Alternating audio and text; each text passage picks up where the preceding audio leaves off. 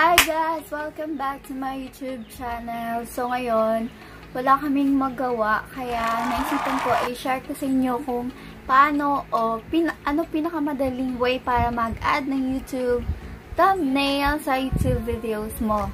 So kasama ko nga pala si Gray dito. Tingnan niyo. Kakaligo niya lang. Ayan! Hi! Say hi! Dali! Hi! Yun, kakaligo niya lang and wala kaming magawa.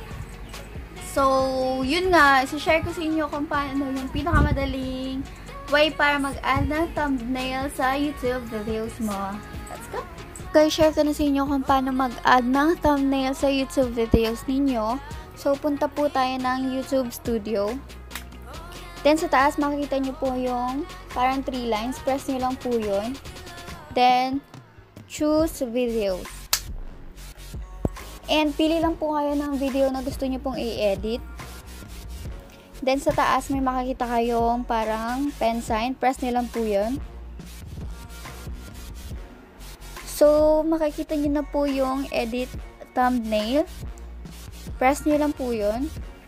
And so guys, yan po ilalabas. May makita kayong automatic customized na thumbnail na. Pero kung gusto niyo yung thumbnail na gusto niyo o yung ginawa ninyo yung ilagay ninyo, punta kayo ng change.